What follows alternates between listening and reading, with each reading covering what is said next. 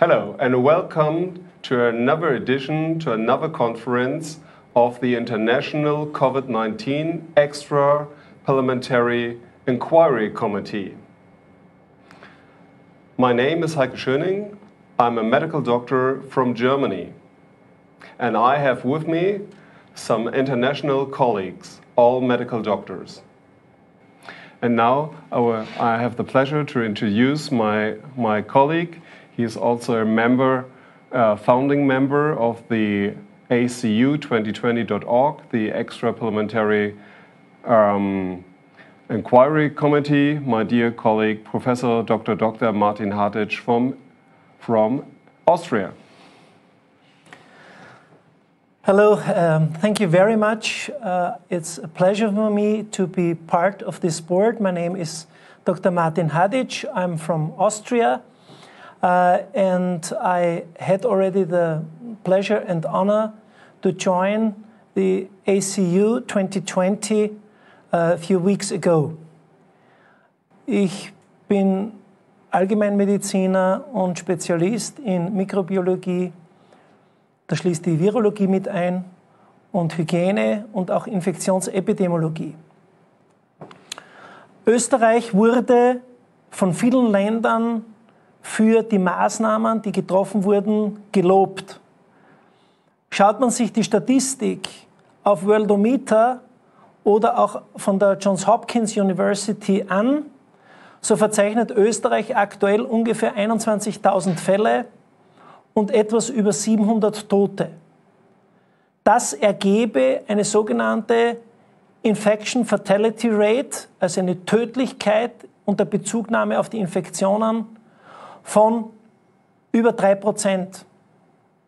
Damit reihen wir uns ein in eine Liste von Ländern mit ungefähr gleicher Infektionszahl in der Höhe oder in der Art und Weise, in eine Reihe von Ländern wie Äthiopien, Kenia, Moldawien oder Usbekistan. Insofern muss man schon die Frage stellen, was macht hier denn Österreich offensichtlich falsch? Österreich hat den Lockdown beschlossen zu einem Zeitpunkt, wo die Fallzahlen bereits im Rückgang waren. Österreich hat eine Maskenpflicht erlassen, obwohl es keine, keine wissenschaftliche Evidenz dafür gibt, dass Masken etwas bringen. Und wenn man betrachtet, wie Leute die Masken verwenden, wann, wo, wie oft, unter welchen Umständen, dann muss es eigentlich jedem einleuchten, dass im Falle einer hochinfektiösen Krankheit diese Maßnahmen gar nichts bringen können. Es ist eine ineffektive Maßnahme.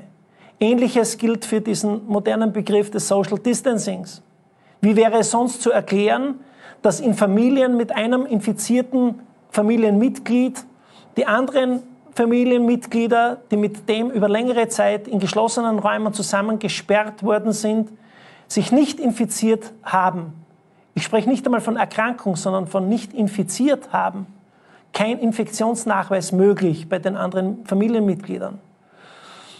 Äh, die Antworten darauf sind uns die Regierungen weltweit, aber vor allem auch ist uns das die österreichische Bundesregierung schuldig geblieben. Ich wurde in einem Stil erzogen, respektvoll mit anderen Leuten umzugehen, aber auch Dinge beim Namen zu nennen.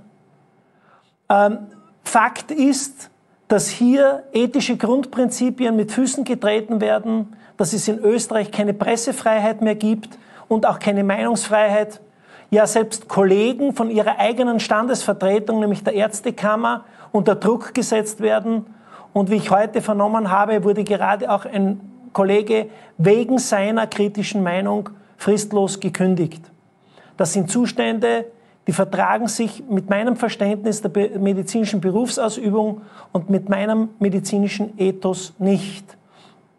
Deswegen trete ich auf, deswegen kämpfe ich mit und ich hoffe, dass, wir, dass es uns gelingen wird, durch die Aktionen, die auch international hier gesetzt werden, den Leuten das wieder zurückzugeben, was sie alle dringend verdienen nämlich Hoffnung auf ein gutes Leben, dass die Angst- und Panikmache ein Ende findet und dass die Leute wieder eine Vision bekommen und äh, wieder hoffnungsvoll in die Zukunft schauen können. Vielen Dank. Vielen Dank, Kollege Hadic aus Österreich. Thank you very much, dear colleague Martin Hadic from Austria.